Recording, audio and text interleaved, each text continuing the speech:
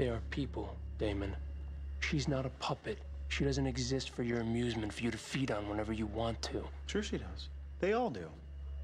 They're whatever I want them to be. They're mine for the taking. All right, you've had your fun. You used Caroline, you got to me and Elena. Good for you. Now it's time for you to go. That's not a problem.